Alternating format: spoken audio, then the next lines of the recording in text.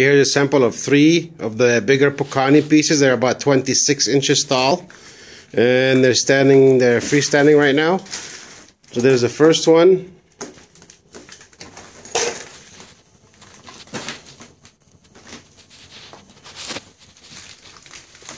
Okay, lots of holes, almost thicker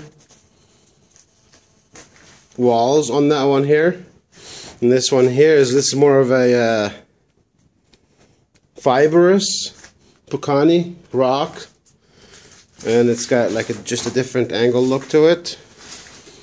And this last piece here that sits tall, the tallest, it's more of a cone shape. See the second one here.